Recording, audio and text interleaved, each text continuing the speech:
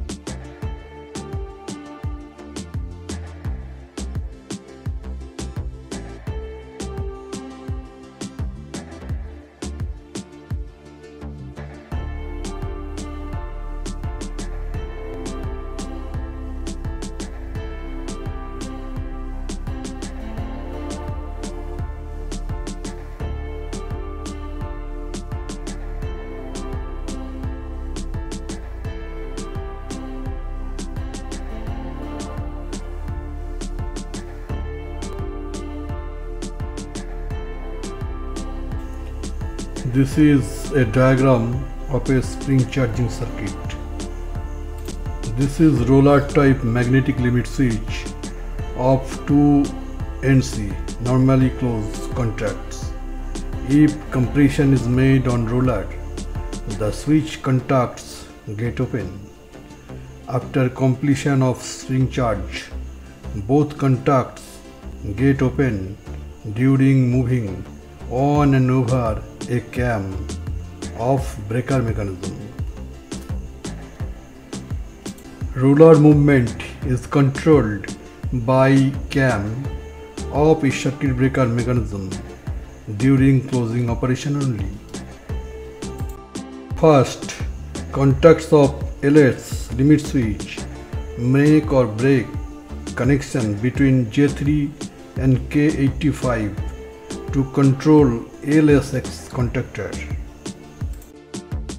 Second contact of LS make or break connection between J3 and KT1 to control making or breaking of contactor 88M1 by which charging motor gets AC power or is disconnected from AC power after completion of charging. If closing spring is not being charged electrically, then first push the 88M1 contactor by a insulated screwdriver to make contact close and if motor started to run then motor's AC powering circuit is okay.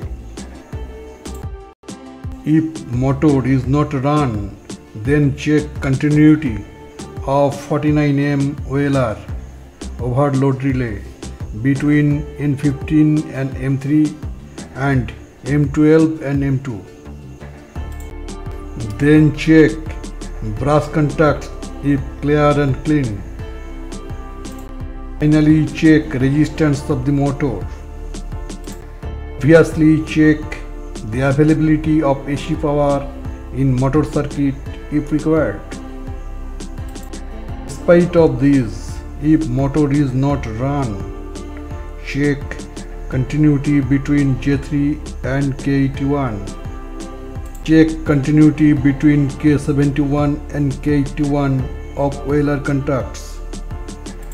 So DC voltage in this circuit by making the MCB switch on and hold multimeter between A1 and A2 of 88M1 to check voltage.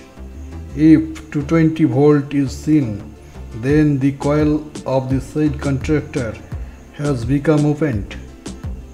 Replace the faulty 88M1 contactor by new one. If LSX circuit is seen defective. Closing circuit of circuit breaker will not be opened during spring charging and spring charging indication will be shown although spring is not charged.